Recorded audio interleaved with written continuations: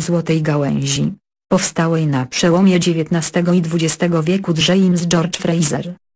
Poświęcił jeden z rozdziałów, zwyczajom związanym z przesileniem letnim. Wspomniał w nim.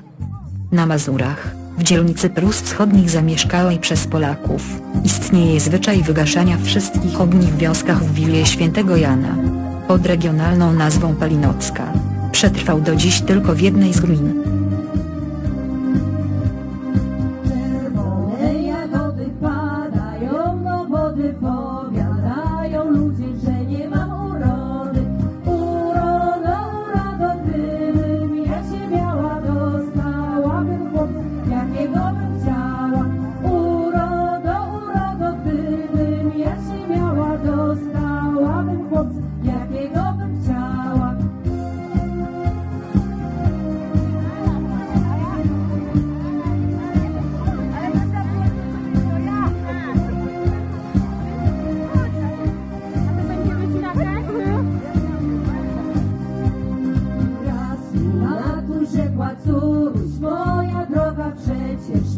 mają tak na co ci urok.